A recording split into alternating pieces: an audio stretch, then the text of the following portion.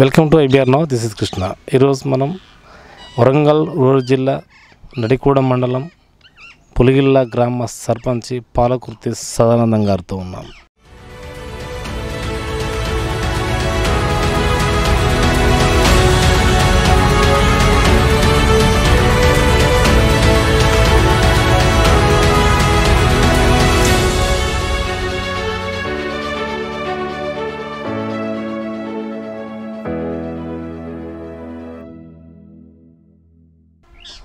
నమస్కారం sir. Sir sir. So ముందుగా sir మీ గ్రామంలో మీరు సర్పంచ్ అయిన కానుండి అంటే ఇక్కడ కాక ముందుకి నామినేషన్ వేసినప్పుడు ఏం సమస్యలు ఉన్నాయని మీరు గుర్తించారు? ఇక్కడ మాకు నీటి మీద సమస్య ఉంది సైడ్ డ్రైనేజీల సమస్య ఉంది అలాగే విద్యుత్ స్తంభాల మీద లైటింగ్ ప్రాబ్లం ఉండే ఇవన్నీ అరికట్టుకుంటున్నాం పైప్ లైన్ లీకేజీలను కూడా చేసుకున్నాం.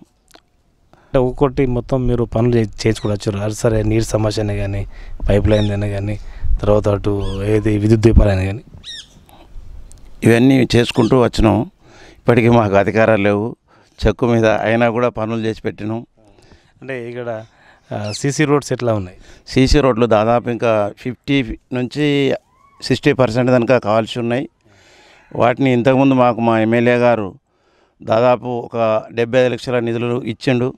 వారి నుంచి యాభై లక్షలకు పైన మేము సీసీ రోడ్లు చేసినాం.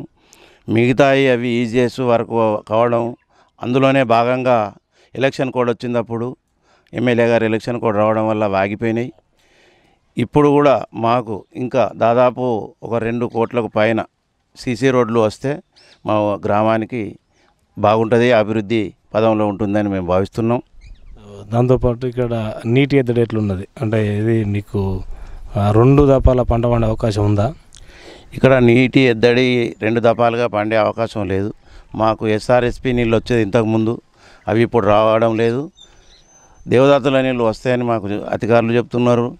మా ఎమ్మెల్యే గారు కూడా చెప్తున్నారు. ఇప్పుడు తాగునీటికి మాత్రం దేవదాతుల నీళ్ళు వస్తున్నాయి.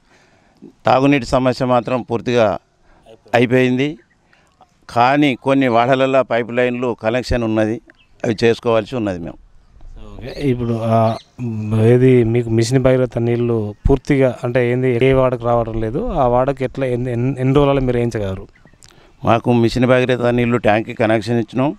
పైపులు ఉన్నంత వరకు వస్తున్నాయి. ఒకటి రెండు వాడలలో పైప్ కనెక్షన్ డైరెక్ట్ మాకు ఇంతకుముందు బావులే ఉన్నాయి. వాటికి పైప్ లైన్ కనెక్షన్ ఇస్తే పూర్తిగా మాకు మిషన్ భగీరథ వాటర్ పూర్తిగా అందించగలుగుతాం. ఓకే. దాంతోపాటు ఇప్పుడు మీకు ఈ యొక్క గ్రామంలో ఉన్నటువంటి సమస్యలు. సరే ఇది మీ మీరు ఇందాక చెప్పినటువంటి డబుల్ బెడ్రూమ్ కావచ్చు ఇవి ఇవి కూడా ఎన్ని పట్టే అవకాశం ఉంది? మా గ్రామం అభివృద్ధి పదంలోకి పోవాలంటే ఇక్కడ ఒక నూట యాభై నుంచి రెండు వందల డబుల్ బెడ్రూమ్లు అవసరం ఉన్నది. అలాగే మేము ఇప్పటి వరకే మరుగుదొడ్ల నిర్మాణం హండ్రెడ్ పర్సెంట్ చేసుకున్నాం మా ఎమ్మెల్యే గారు. పైలట్ ప్రాజెక్ట్ కింద కలెక్టర్ గారితో మాట్లాడి మాకు ఇవ్వడం జరిగింది. దాన్ని పూర్తిగా సక్సెస్ చేసుకున్నాం. ఇప్పుడు కూడా మేము కార్యక్రమాన్ని ఇంటింటికి ఇంకుడుగుంట అనే కార్యక్రమాన్ని చేయబోతున్నాం. దీన్ని కూడా మా ఎమ్మెల్యే గారి సమక్షంలో అలాగే పైలట్ ప్రాజెక్ట్గా తెచ్చుకొని చేస్తే ఫుల్ సక్సెస్ చేసుకోవాలని భావిస్తున్నాం. ఈ యొక్క దాదాపు నూట యాభై నుంచి రెండు వందలు అంటే దాదాపు భారీ ఆ, బడ్జెట్ అవసరం కదా? అంటే మీరు మీరు చెప్పే ప్రకారం పది నుంచి పదిహేను కోట్ల అవసరం పడుతుంది. ఇది మరి మీ ఎమ్మెల్యే గారితో ఏ విధంగా మెప్పించి తేగారు ఇది అవసరం ఉన్నది తప్పకుండా మా ఎమ్మెల్యే గారు మా గ్రామాన్ని దృష్టిలో పెట్టుకొని తెస్తా ఇస్తారని మేము భావిస్తున్నాం.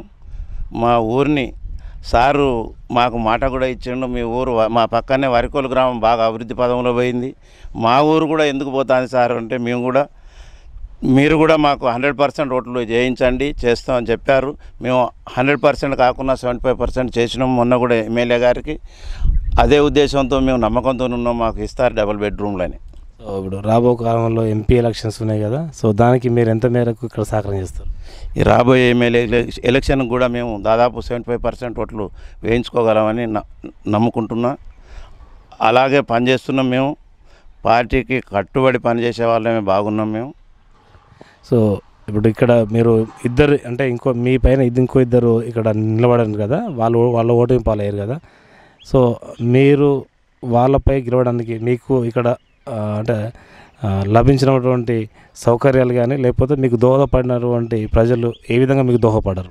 నాకు ఇక్కడ వాలిపై గెలిచేందుకు రెండో రెండు కారణాలు. నేను అందరిలో చుచ్చుకొని పోతా. ఒకటి. రెండోది నాకు ఒక పని చేయాలనే ఉద్దేశమే ఉంటుంది.